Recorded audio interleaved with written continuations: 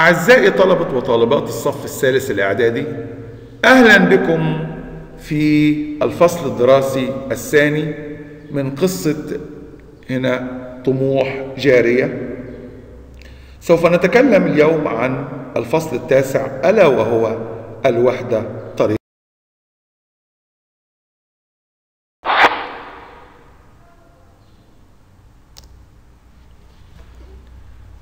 السؤال الأول ما أسباب غضب الشعب العربي قبل حكم نجم الدين؟ واحد بسبب الفرقة والانقسام والخلافات بين الملوك والأمراء على الحكم. ثلاثة القوة المهدرة في الحروب الداخلية بين حكام العرب. نسيان العرب بالخطر الأكبر وهم الفرنج. السؤال الثاني ماذا تمنى المصلحون في الوطن العربي اتحاد العرب ونسيان الخلافات المستمرة بينهم توجيه الجهود إلى محاربة الفرنج. السؤال الثالث ما المبررات أي ما الأسباب التي أدت إلى تكوين جمعيتين سريتين وما أهدافهما؟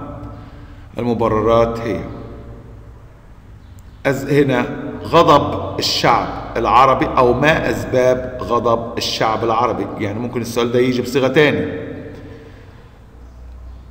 هنا والأهداف أما الأهداف فهي توحيد الجهود يبقى أهداف الجمعيتين اللي هم توحيد الجهود وتوجيهها لمحاربة العدو اثنين التغلب على الخلافات المشتعلة بين الحكام العرب توحيد الصفوف وتعبئة القلوب ليوم الفصل أربعة بث الكراهية للفرنج ومن يلوذ بهم. السؤال الرابع ما أهم عوامل النصر على الأعداء؟ أهم عوامل النصر هي الإخلاص والوحدة وقوة الوعي القومي. السؤال الخامس أين تكونت الجمعيتين وما أبرز من فيهما؟ تكونت جمعية جمعية في دمشق وأبرزها أبرز شخصياتها الشيخ العز بن عبد السلام وهو عالم كبير زاع صراحته وإقدامه بين الناس. اثنين لا يخاف أحد ولا يخشى سوى الله. ثلاثة يواجه المخطئين بأخطائهم دون خوف أو تردد.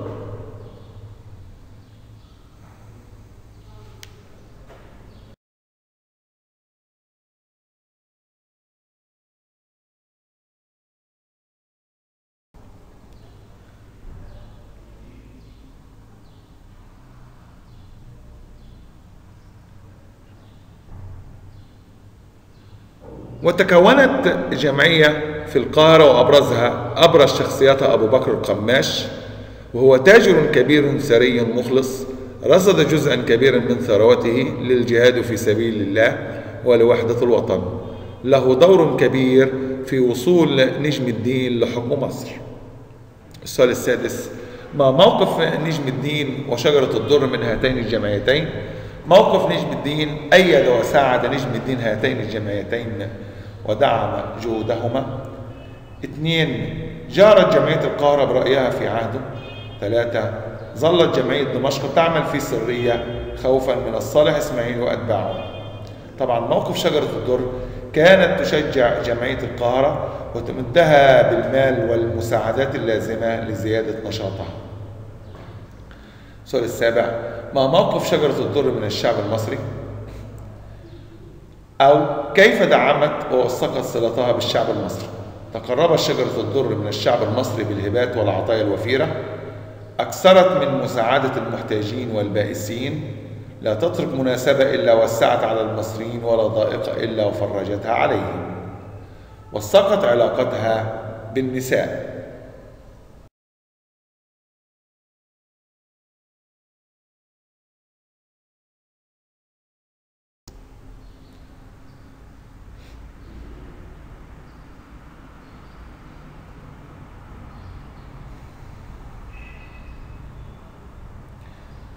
السؤال الثامن ما أهم الإصلاحات التي قام بها نجم الدين في مصر؟ كان نجم الدين نموذج للحاكم العادل المسؤول عن رعيته فقد واحد اجتهد في إصلاح البلاد وحل المشكلات اجتهد في رد المظالم التي أهلها إلى أهل في رد المظالم إلى أهلها وتثبيت قواعد الملك عمل على تعمير ما أفسده العادل وحاشيته السؤال التاسع رضا الناس غاية لا تدرك وضح ذلك. هذه الحكمة صائبة ويدل ذلك على أن الإصلاحات نجم الدين لم ترضي كل الناس. فقد كان هناك حاقدون على نجم الدين يعملون في الخفاء لإفساد إصلاحاته فلا يمكن أن يرضى كل الناس حتى عن الإنسان السوي المصلح. السؤال العاشر ما موقف الحاقدين من نجم الدين وإصلاحاته؟ لم تعجب هذه الإصلاحات الحاقدون وعملوا على هدمها وذلك لأنهم ليس لهم مصلحة فيها. وجمعوا إليهم كل حاسد وناقم على نجم الدين. ولكن نجم الدين لم يكن غافلا عن هؤلاء الحاقدين فقد كانت له عيون تخبره بكل شيء عن هؤلاء الحاقدين.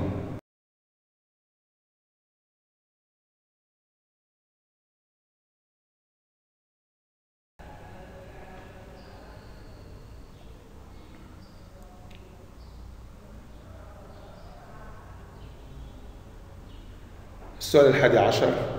كيف كشف نجم الدين هؤلاء الحاقدين وماذا فعل معهم؟ كشفهم نجم الدين عن طريق عيونهم المنتشرة في كل مكان ويخبرونه بكل أعمالهم ولما تأكد له حقدهم وفسادهم قبض على كثير منهم واستولى على أموالهم وهرب البعض الآخر. السؤال الثاني عشر. إلى أين لجأ ومن فر من الأمراء الحاقدين على نجم الدين؟ الإجابة لجأ بعضهم إلى الصالح إسماعيل في دمشق كما هرب داود ومعه سوداء بنت الفقيه وورد المنى ونور الصباح إلى حصن الكرك. السؤال الثالث عشر ماذا فعل الصالح إسماعيل عندما علم بما فعله نجم الدين بالأمراء؟ اشتد فزعه وخوفه من نجم الدين. قرر مبادرة نجم الدين والهجوم عليه في مصر. اتفق مع الفرنج لمساعدته في التخلص من نجم الدين. سمح للفرنج بالدخول إلى دمشق لشراء الأسلحة في مقابل المساعدة. خمسة اتفق مع صاحب حلب وصاحب حمص على مواجهة نجم الدين.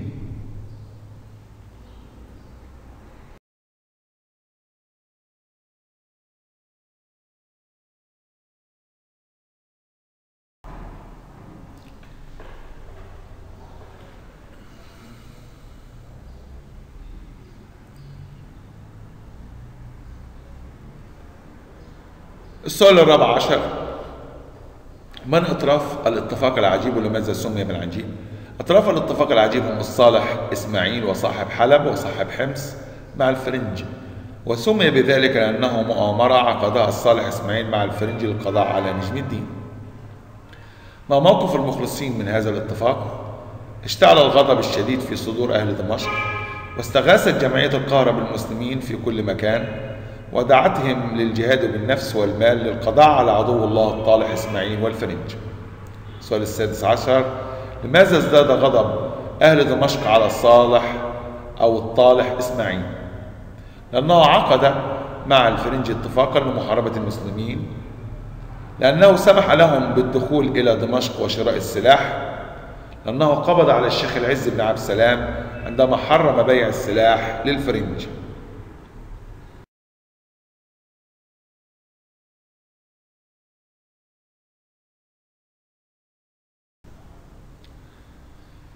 السؤال السابع عشر.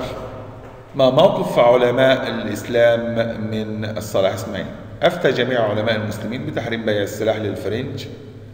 جار الشيخ العز بن عبد السلام بفتوى في الجامع الأموي بدمشق وهي تحريم بيع السلاح للفرنج تحريم طاعة من يأمر ببيعه. أن الملك الذي يسمح ببيع السلاح لأعداء الله لا يصلح لولاية أمر المسلمين. وأنه خارج عن دين الله ناشز خارج عن الجماعة. أربعة قطع الدعاء له في الخطبة. لماذا أفرج الصالح إسماعيل عن الشيخ العز بن عبد السلام؟ لأن أنصار الشيخ أخافوا الصالح إسماعيل من عاقبة أو نتيجة عمله وبذلك أجبروه على أن يفرج عنه ويخرجه من السجن. ما المفاجأة؟ السؤال التاسع عشر ما المفاجأة التي حدثت أثناء التقاء الجيشين ومن دبرها؟ كانت المفاجأة الكبرى هي انقلاب معظم جيش الشام اللي هو جيش الصالح إسماعيل عليه وانضمامهم لجيش مصر. وحاربوا الفرنج ومن بقى مع الصالح إسماعيل مما أدى لهزيمته وهرب من المعركة بصعوبة بالغة. وقد دبر هذه الخدعة المفاجئة جماعة دمشق.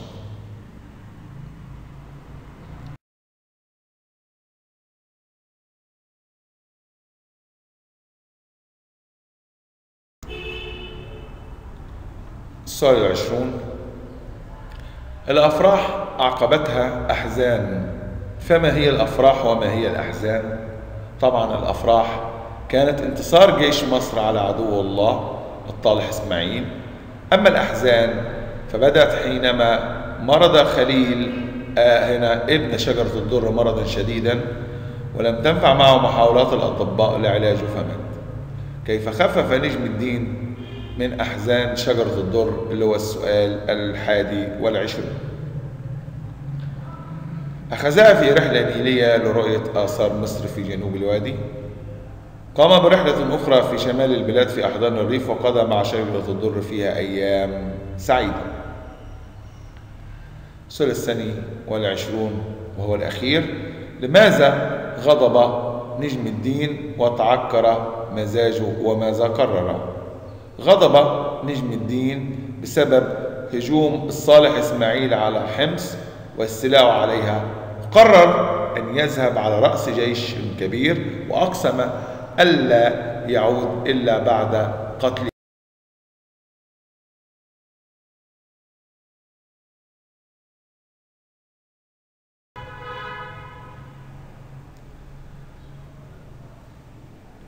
نكمل برضو هنا.